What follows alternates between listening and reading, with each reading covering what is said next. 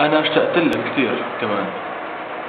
رح أزورك عن قريب لأنه أنا اشتقت لك كثير رح أزورك عن قريب لأنه اشتقت لك كثير